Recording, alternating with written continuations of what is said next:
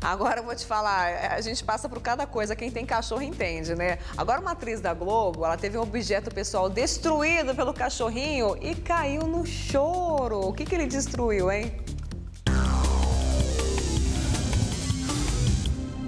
Sharon Menezes provou o porquê é conhecida como uma das atrizes mais carismáticas de sua geração. Isso porque o TV Fama bateu um papo pra lá de alto astral com Sharon em um dia pra lá de especial. Hoje tem uma comemoração especial, que é aniversário da mamãe. Aniversário da minha mãe. Acompanhada do maridão, o empresário Saulo Bernard, e do filho Benjamin, a quem gosta de ainda mantê-lo longe dos holofotes, Sharon contou como anda sua vida como mamãe de primeira viagem. Não, agora a rotina é outra. Deixou de ser de mamãe virou da mamãe que trabalha. Agora a mamãe tem que trabalhar, tá gravando, né? Entra numa outra, numa outra energia, que eu ainda tô me adaptando. Esse Eu tra- era mãe, mãe de casa. Era mãe de casa. mãe de casa. Essa nova gravação seria bom sucesso? Você tá confirmado? Não, já tô gravando. Já tá gravando? Como é que tá? É Gisela, vilã? Gisele. Gisele, uma vilã? Gisele é a vilã, eu faço. é, vou fazer muitas traquinagens, essa palavra bem antiga. A gente vai fazer muita maldade, eu e a irmã do Babaioff, né? Que é o Diogo. É, somos os vilões dessa novela.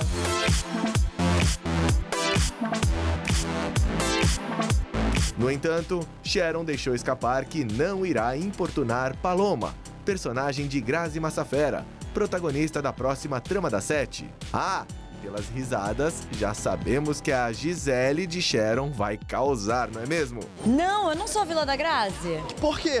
Engraçado, né? Não, não. É, eu sou a vilã da, da Fabiola. Fabiola Nascimento. Você vai pegar no pé da Fabiola. É, eu, na verdade, eu, eu sou a assistente pessoal dela.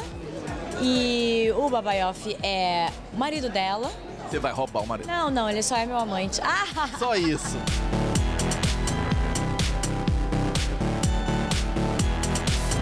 Voltando sobre a rotina de mãe, a atriz revela como tem feito para deixar o pequeno, que tem apenas um ano de idade, sem sua presença. Sharon ainda comentou o lamentável episódio que comoveu a web no Dia das Mães. É, primeiro que tem papai, né? Papai divide, chega junto. É, eu tenho uma mãe, uma sogra e, e uma rede de apoio ótima, tem escolinha também. Então a gente tá, né? Sempre precisa ter um irmão que vai ali, tem a minha funcionária que é apaixonada por ele, que dá uma ajudinha aqui. Tem mãe, tem sogra, tem o cunhado, tá? sempre tem alguém pra ajudar. Todo mundo quer ficar com ele, ele é incrível. Você falou de escolinha, a gente ficou triste porque o cão comeu o presente do Dia das Mães. Como foi aquilo? Doeu muito? Foi... Eu fiquei muito mal, gente. Fiquei mesmo. O cachorro pegou e rasgou tudo. Olha aqui. Ele arrancou as mãozinhas e a foto.